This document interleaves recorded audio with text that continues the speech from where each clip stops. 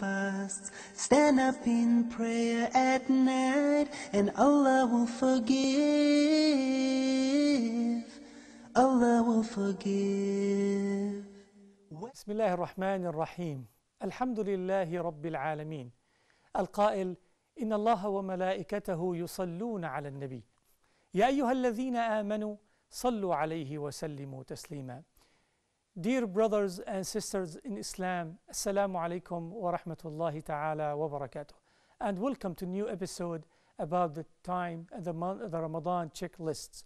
And today we will try to talk about something really important in our daily life and something important for the, our connection with Allah subhanahu wa ta'ala.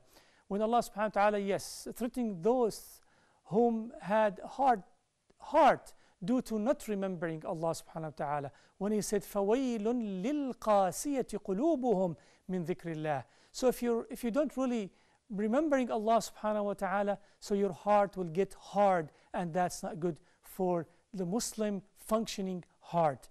And Alhamdulillah, at least we do it every, every after each and every salah, 33 times, subhanallah, alhamdulillah.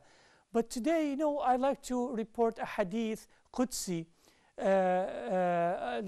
Rasulullah sallallahu you know, uh, it's a hadith Qudsi and narrated by Al-Bukhari when Allah subhanahu wa ta'ala uh, said, talking about himself, أنا عند ظن عبدي بي وأنا معه إذا ذكرني.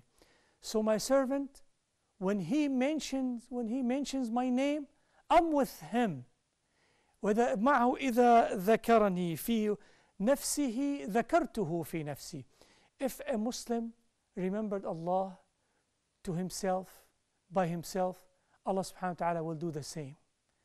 And if a Muslim remembered Allah with the group, with the congregation, Allah subhanahu wa ta'ala will mention his name in a group and the congregations. So how, how important, it's very, very, very important. You cannot live without such a pleasure and such like blessing from Allah subhanahu wa ta'ala. As Rasulullah sallallahu wasallam said that Jibreel came to me and said, O Muhammad, tell your people to raise up their, their voice bit takbir when they to say Allahu Akbar and so forth. And one of these tabi'een said, I know when Allah subhanahu wa ta'ala remember me and they told him, What are you talking about? I know for, for sure the time and the minute when Allah subhanahu wa ta'ala mentioned my name or remember me. And they said, They told him, How? Then he replied by saying, Don't you know what Allah said in the Quran? فَاذْكُرُونِي أَذْكُرْكُمْ Remember me, I will remember you. Subhanallah. So if your name Muhammad or Sa'id or Abdullah or Abdul Qadir, whatever name you have, and you say, Ya Rabb, I remember you. So then they said, Allah subhanahu wa ta'ala will mention your name. And وَلِلَّهِ الْمَثَلُ الْأَعْلَى How important it is to be mentioned by Allah subhanahu wa ta'ala and Allah remembered you. And remember the famous hadith when malaika patrolling the area, patrolling the earth, and they see a halaqah, and people sat in that halaqah and they will descend upon them ما اجتمع قوم في بيت من بيوت الله يذكرون الله إلا حفتهم الملائكة that the angels will come to surround these people doing the dhikr or remembering Allah subhanahu wa ta'ala and reciting the Quran. The Quran and remembering Allah subhanahu wa ta'ala. When you say subhanallah, alhamdulillah, every time you say subhanallah or alhamdulillah you just you put something in a jannah for your saving account.